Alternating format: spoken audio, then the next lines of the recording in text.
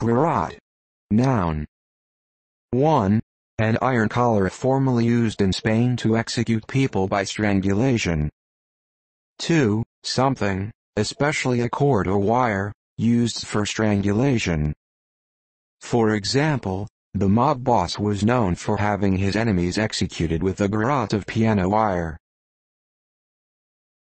Garrote. Verb. 1. Transitive, to execute by strangulation. 2. Transitive, to kill using a garrote.